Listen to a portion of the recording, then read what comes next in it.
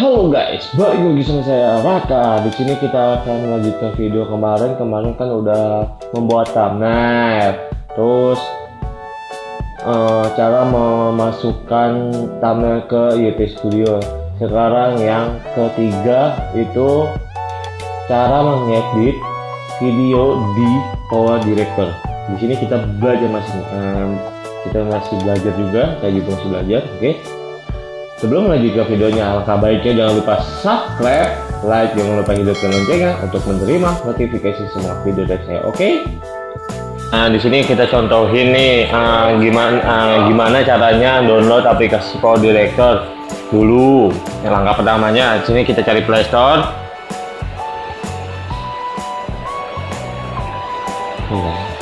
Nah, kita telusuri aplikasi dan game. Kita cari Power Director.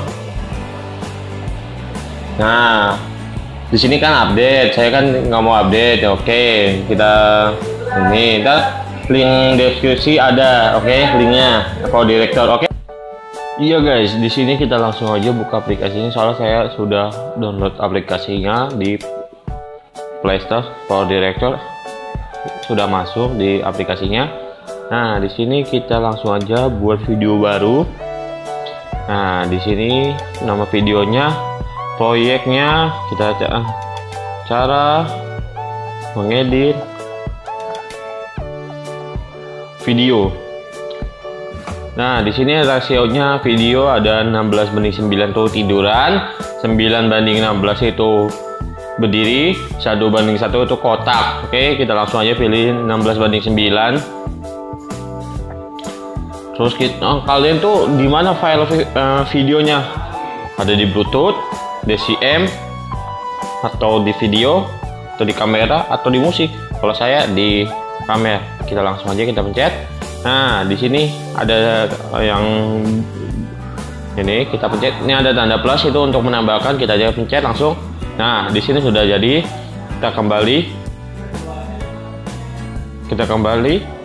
Nah, di sini ada mob.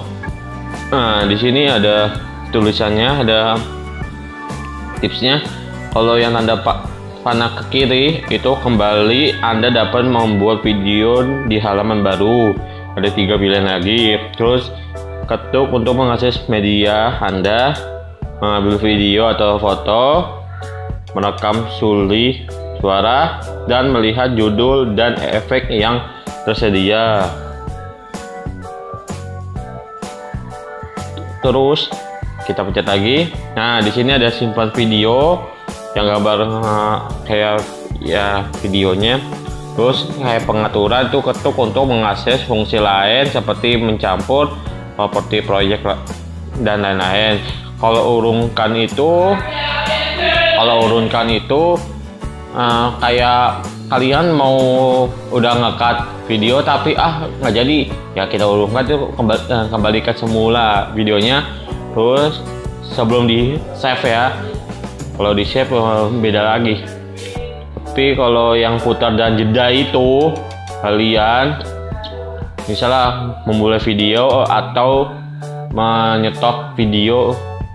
Ya di sini ada seret konten ke timeline untuk mengedit gunakan gestur mencubit untuk mengubah besar tampilan timeline oke nah ntar dulu bentar ya nah di sini kan videonya sudah ada kita langsung aja edit misalnya kak gimana sih kak kalau mau tambahin kayak sub sub subscribe nah subscribe untuk di sini Oke, sub, jangan lupa subscribe, like, jangan lupa hidupkan loncengnya. Ya itu jangan, eh, eh, jangan. Maksudnya yang itu bukan yang kayak minta yaitu. Nah, ini kita langsung aja ke video, terus ke eh, untuk YT saya di sini udah siapin yang screen greennya. Di sini ada yang putar balikin tuh putar balikin. Nah kita di sini kita per, ini untuk memperbesar. Nah di sini kita pencet pensil lagi. Terus kita ke kunci chroma. Ini salah. Kita ke kunci chroma terus kita gunakan alat pemilih untuk memilih warna. Terus bentuk untuk menghapus warna. Oke kita kembali lagi. Baru kita pencet save. Terus kak gimana tambahin like sama juga. Kalian di sini balik lagi kan dapat yang biru yang di bawah itu. Nah kita pencet ke gambar. Tadi kan ke video sekarang ke gambar. Terus kita ke untuk YT terus ke ini ke like. Kalian kalau like itu misalnya uh, itu kalau di folder director kalau file kalian di uh, misalnya kayak saya nih ini kan ada stiker bawahnya. Ini like yang rusak kayak gini. Ya, kalian bisa download di Google, Google atau di mana. Oke kita lanjutkan aja.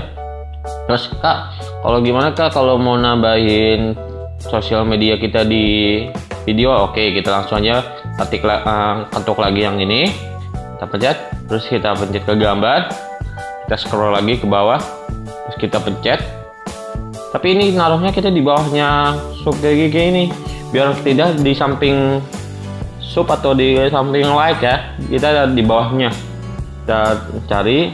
Nah ini uh, sosial media saya kita taruh di sini. Sebelumnya saya hapus screennya. Nah kita cat pensil. Kunci proma lagi kita pencet itu lagi alatnya kita tekan warnanya. Nah jadi kembali kita simpan baru simpan timeline. Oke. Ini ada tanda bulat itu kita scroll ke kan kanan ke kiri sampai video akhirnya di mana? Nah. Nah ini udah jadi. Kak gimana nyet, uh, buat nyetel lagu? Oke kita setel lagu. Nah di sini ke musik. Ke background YT kita pakai how begin. Terus dari silin partner kita tekan aja. Kita kembali terus kita scroll ke kanan. Terus ada ini kita pencet. Kita potong ada yang tanda cutter. Ini kita pencet lagi ini ada tanda tong sampah kita pencet. Nah kita buang. Nah jadi oke kita simpan timeline. Nah di sini kita setel kegedean ternyata. Kegedean. Oh kita kecilin. Oh gimana kecilinnya kita pencet pensil kita volume kita ke 34 kita simpan lagi. Oke jadi. Nah